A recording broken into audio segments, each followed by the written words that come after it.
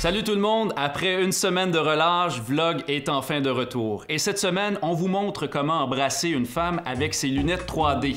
On vole sur l'eau grâce au Jetlev Flyer, on danse la tectonique à Montréal, on célèbre le retour de Lady Grippette, Ça va rocker! on se moque de Christian Bell, on détruit le site de l'émission et on se rince l'œil avec la vidéo de Kim Cloutier, cette Québécoise qui est en vedette dans le dernier magazine de Sports Illustrated. Alors ratez pas Vlog ce vendredi, 21h30.